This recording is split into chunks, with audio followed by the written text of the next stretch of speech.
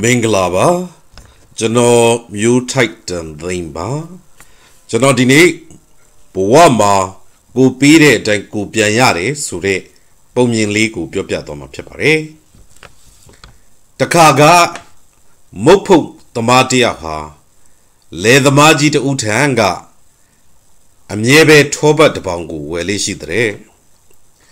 တနေ့တော့မုတ်ဖုတ်သမားကသူဝယ်တဲ့ထောပတ်ဟာ အလေးချိန်ပြည့်ရလားလို့ချိန်ကြည့်လိုက်တော့အလေးချိန်မပြည့်တာလဲတွေ့ရော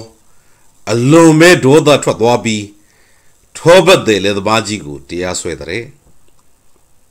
ဒါနဲ့တရားရုံးရောက်တဲ့တရားသူကြီးကလေသမားကြီးကိုအလေးချိန်ပြည့်အောင်ဘာတွေလုပ်ပြီးဘလူရောင်းတယ်လဲလို့မေးတဲ့ဒီကမှလေသမားကြီးကတရားသူကြီးမင်းခင်ဗျာ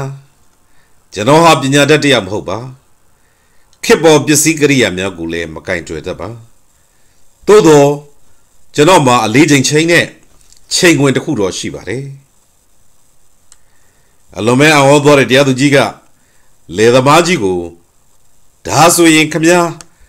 ဘလူမျိုးထောဘတ်ကိုချိန်တယ်လဲလို့မေးလိုက်ပါတယ်ဒီကမှလေသမားကြီးကတရားသူကြီးမင်းခမညာမုတ်ဖုတ်သမားကျွန်တော်ထံကထောဘတ်တပေါင်းမဝဲစင်ငင်က ဟိုးအရင်ကတည်းကကျွန်တော်ဟာသူ့ထံမှပေါင်မုတ်တပေါင်ကို အမြဲဝယ်လေးရှိပါတယ်။ဒါကြောင့်နေ့စဉ်မုတ်ဖုတ်သမားကပေါင်မုတ်တပေါင်ကျွန်တော်အတွက်ယူလာတိုင်းကျွန်တော်ဟာထိုပေါင်မုတ်ကိုချိန်ဝင်ကောတင်းပြီး၎င်းနဲ့အလေးချိန်တူတဲ့ထောဘက်ကိုအမြဲပဲပြီးခဲ့ပါတယ်။ဒါကြောင့်အလေးချိန်မပြည့်ဘူးဆိုရင်အဓိကတာဝန်ရှိပြီးတာဝန်ယူရမှာက မုတ်ဖုတ်သမားပဲဖြစ်ပါတယ်လို့ထောဘတ်တဲ့ယူသားတဲ့လက်သမားကြီးကပြန်ဖြေလိုက်ပါတယ်ကျွန်တော်ဒီပုံပြင်လေးကနေဘဝမှာသင်ခန်းစာကတော့ကျွန်တော်တို့ဟာကိုပေးတဲ့အတိုင်းကိုပြန်ရပါတယ်ဆိုတာပဲဖြစ်ပါတယ်ကျွန်တော်မျိုးထိုက်တန်သိမ့်ပါအားလုံးပဲဘဝမှာကျမ်းမာချမ်းသာဝမ်းသာပျော်ရွှင်ကြပါစေ